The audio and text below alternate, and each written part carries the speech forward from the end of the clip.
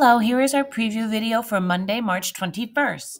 We're going to begin with lesson 39, and it says solve multiplicative word problems involving fractions, which just means word problems with a whole number times their fraction, which we've been doing, so you're going to be great. We're starting a new passage, Alex the Parrot, and you're going to love this because Alex learns an awful lot. And it reminds me of Koko um, the gorilla and how he learned sign language. You'll go to music, and for social studies, we're going to do a Northeast review, review what we've learned about the Northeast and learn some new things about the Northeast.